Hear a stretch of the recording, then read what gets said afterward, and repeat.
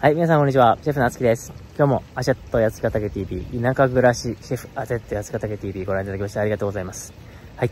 えーとね、実は全然撮影する気なくて、えー、車を走らせてましたら、ちょっと綺麗な景色に出会いまして、大室に、えー、車を止めて撮影しております。なんで、帽子かぶってない。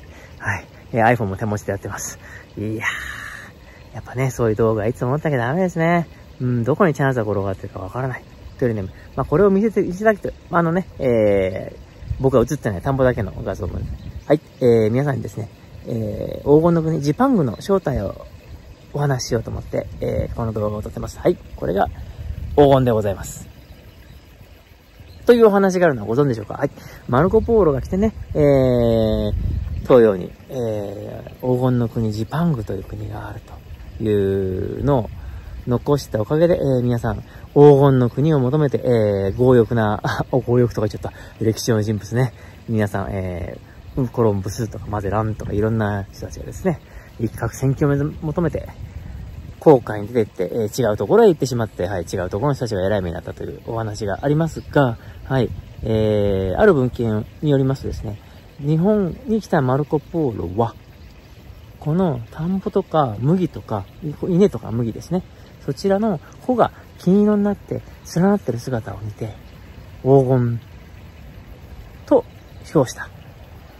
金があるとは書いてないわけですね。黄金色のものがある。でもね、実際この黄金色がですね、田んぼで次々重なっていくと、ものすごい綺麗なわけですね。わかります？このね、金、この美しさ。これがね、まあ、画面上1枚だけです。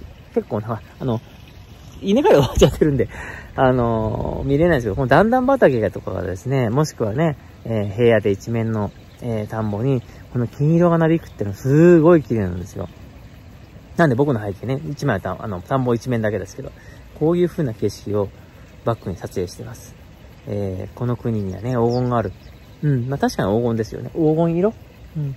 まだね、このね、えっ、ー、と、実りが出てきて、穂が垂れて、もう収穫だなって頃ですね、その稲自体、緑のね、穂が枯れて黄色になるんですよね。だから金色なんですよ。稲は、昔ね、僕その本読んだ時は、稲穂が金色なのかとまだ違うんですね。葉っぱが金色になるんですよ。葉っぱが金色。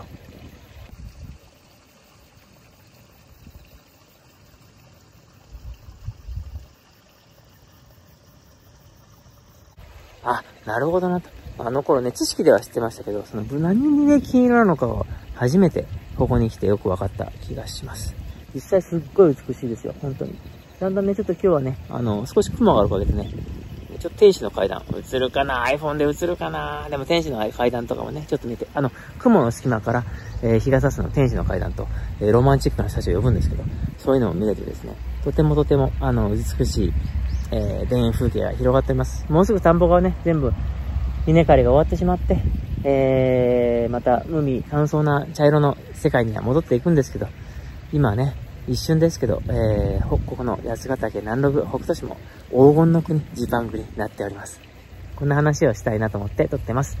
ここはね、えー、この間も話しましたけど、意外に隠れたお米の名産地。はい、あのー、李北米という名前ですね。